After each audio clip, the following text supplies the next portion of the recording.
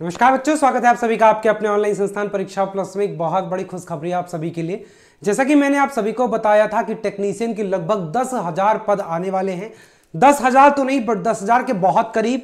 इन्होंने अभी अभी बिल्कुल गरम गरम tentative number of vacancies about 9000 इन्होंने क्या कर दिया है, ज़िक्र कर दिया है। और इसका जो फॉर्म आएगा, वो आपका फरवरी में आ जाएगा। इसका जो सबमिशन होगा फॉर्म का, वो मार्च, अप्रैल में होगा। और कंप्यूटर बेस्ड जो आपका, इसका टेस्ट होने वाला है, जो कंप्यूटर बेस्ड एग्ज़ाम होने वाला है, वो अक्टूबर और दिसंबर के महीने में होने वाला है। डीवी जो होगा, वो फरवरी 2025 में होगा। एक चीज़ आपको नोट करना है सेंट्रलाइज एम्प्लॉयमेंट नोटिस जो सीएन है next cycle recruitment to the post of technician is provisionally plan for issue in April 2025 मतलब अभी एएलपी के लगभग सत्तावन पद इधर हैं। उसके बाद फिर ये जनवरी 2025 में इन्होंने बोला है कि हम दोबारा से क्या करेंगे? एएलपी का लॉन्च करेंगे। इन्होंने टेक्नीशियन के बारे में में ज़िक्र किया था टेक्नीशियन का 9000 के पद के बारे में इन्होंने घोषणा की है और उसके बाद इसका जो नेक्स्ट साइकिल आएगा, वो अप्रैल में आएगा। तो बच्चों, अब से लग जाओ जी जान, इसका जो सिलेबस है, सब कुछ मैं आपको बहुत जल्द बताने वाला हूँ। लगभग जो आपका एएलपी का सिलेबस है, उसी के आधार पर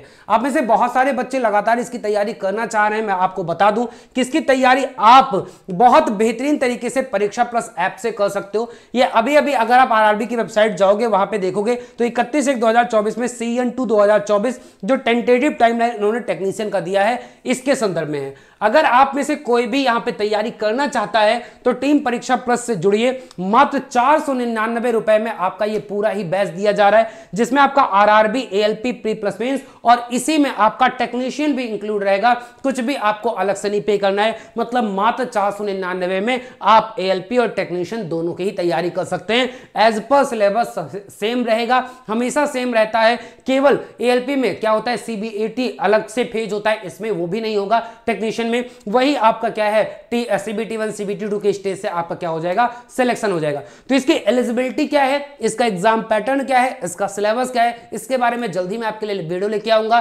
तब तक के लिए सभी का बहुत बहुत धन्यवाद। एक चीज़ ध्यान रखिएगा, अगर आप चैनल पर नए हो, चैनल को सब्सक्राइब अवश्य कर लीजिएगा।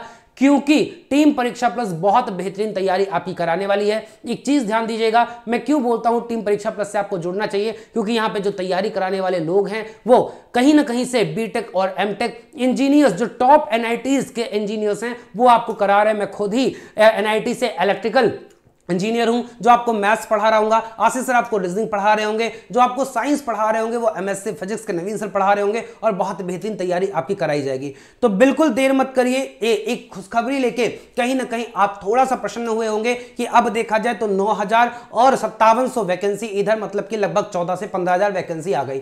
हालाँकि मैं पिछली बार से कंपेयर करूँ तो पिछली बार छब्बीस सत्ताईस थी, लगभग दस कम है, लेकिन अगर इन्होंने प्रॉमिस कर दिया है कि दो हज़ार पच्चीस में फिर से लाएँगे तो समझ लो कि ये फिर बहुत ही अच्छी बात है अगर दस पंद्रह हज़ार अभी और दस पंद्रह हज़ार अगले साल फिर कर देते हैं, तब तो बहुत ही बेहतरीन सीन है और अपनी तैयारी अभी से जारी कर दीजिए। फिर मिलेंगे धन्यवाद सभी का। चैनल पर नए हो, चैनल को सब्सक्राइब अवश्य कर लीजिएगा। धन्यवाद।